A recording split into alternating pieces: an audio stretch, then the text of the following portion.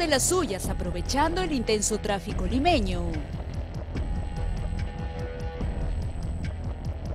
Personal de Serenazgo capturó a este delincuente que robó un celular valorizado en 2.500 soles en el cercado de Lima. Aquí podemos ver a este sujeto de polo blanco que camina por la cuadra 5 del Girón Huánuco en Barrios Altos. Camina por la vereda simulando ser un inocente transeúnte. De pronto, identifica a su próxima víctima. Deja a un lado de la vereda el casco verde que tenía entre sus manos y acelera el paso hacia el vehículo blanco que por el tráfico se encontraba estacionado.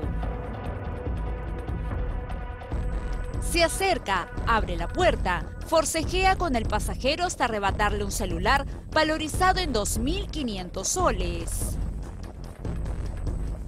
Corre por la vereda para nuevamente cruzar hacia el otro lado. Pero ponga atención a esta señorita parada en la esquina, que a primera vista pasa desapercibida. Es una mujer de casaca rosada y short blanco. El delincuente pasa por su lado sin decirle nada. Pero minutos después, esta misma mujer se acerca al sujeto y le entrega una polera negra para que éste pueda cambiar su apariencia. Juntos caminan una cuadra para luego subir a una mototaxi. Pero las cámaras de vigilancia habían captado todo el recorrido de esta pareja y de inmediato el personal de Serenazgo les da el encuentro.